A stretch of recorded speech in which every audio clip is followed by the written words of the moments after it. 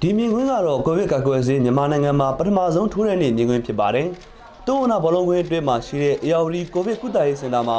ကျန်းမာရေးဝန်ထမ်းတွေနဲ့စေတနာဝန်ထမ်းတွေကိုကာကွယ်ဆေးစတင်ထိုးနေတာပါ။ဒီကာကွယ်ဆေးတွေကတော့အိန္ဒိယအစိုးရကမြန်မာအစိုးရကိုချစ်ကြည်ရေးလက်ဆောင်ဖြစ်ကာကွယ်ဆေး1.5တန်ပေးထားတာဖြစ်ပါတယ်။အေယာဝတီကိုဗစ်စင်တာမှာစေတနာဝန်ထမ်းတောင်းထမ်းဆောင်နေတဲ့ကိုချိုးရင်သင်းကတော့ပထမဆုံးနေ့မှာပဲကာကွယ်ဆေးထိုးဝင်ရရှိသူပါ။ အနေနဲ့စိတ်ပူတာတွေရှိပေမဲ့ကာကွယ်ဆေးထိုးပြီးတဲ့အချိန်မှာလုံခြုံတယ်လို့ခံစားမိကြောင်းပြောပါတယ်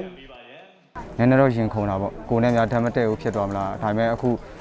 ထိုးနေတဲ့အချိန်ရောထိုးပြီးသွားတဲ့အချိန်ကတော့အခုချိန်ကြီးတော့လုံးဝတာမန်ပုံမှန်လူတယောက်ထိုင်ပါပဲဘာမှတော့မဖြစ်သွားပါဘူးဟုတ်ဒီဒီဆေးထိုးပြီးပါပြီဆိုတာနဲ့ဟိုဘယ်လိုပြောမလဲကာကွယ်ဆေးဒီပိုးအတွက်ဒီကာကွယ်ဆေးဆိုတဲ့အတွက်ဆေးဖြစ်သွားတယ်ဆိုရင်ဒါပေမဲ့ကျွန်တော်တို့ကဟို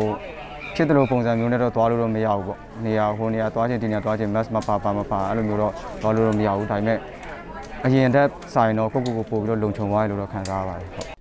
ကိုဗစ်ကာကွယ်ဆေးကိုပထမဦးစားပေးအဖြစ်ကျန်းမာရေးဝန်ထမ်းတွေဗိုလ်အစိုးရဝန်ထမ်းတွေနဲ့နေပြည်တော်မှာလွှတ်တော်တက်ရောက်မဲ့ပြည်တော်စုလွှတ်တော်ကိုယ်စားလှယ်တွေကိုစတင်ထိုးပေးမှာဖြစ်ပါတယ်။နိုင်ငံအဝန်းကာကွယ်ဆေးကိုတော့ဖေဖော်ဝါရီ9ရက်နေ့မှာစတင်ထိုးပေးတော့မှာဖြစ်ပြီးဦးစားပေးအဆင့်လိုက်ထိုးပေးတော့မှာဖြစ်ပါတယ်။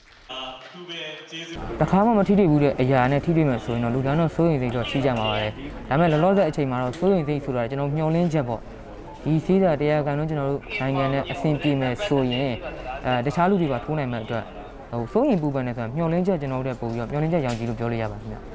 ရန်ကုန်စေယုံကြီးနဲ့နေပြည်တော်စေယုံနေမှာလည်းကိုဗစ်ကာကွယ်ဆေးကိုဒီကနေ့တပြိုင်နက်တည်းစတင်ထိုးပေးနေတာဖြစ်ပါတယ်။ရန်ကုန်စေယုံကြီးမှာပထမဆုံးကာကွယ်ဆေးထိုးခံသူကတော့တူနာဗီအုပ်ဆရာမကြီးဒေါ်တက်တက်သိန်းပါ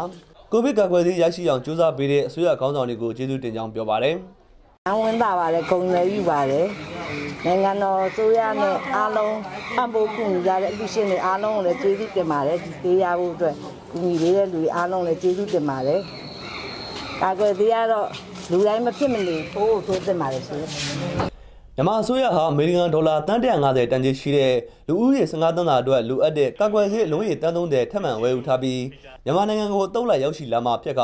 ဖေဖော်ဝါရီလဆန်းပိုင်းမှာပထမဆုံးတုပ်ဖြစ်ရောက်ရှိလာမှာဖြစ်ပါတယ်ခင်ဗျာ။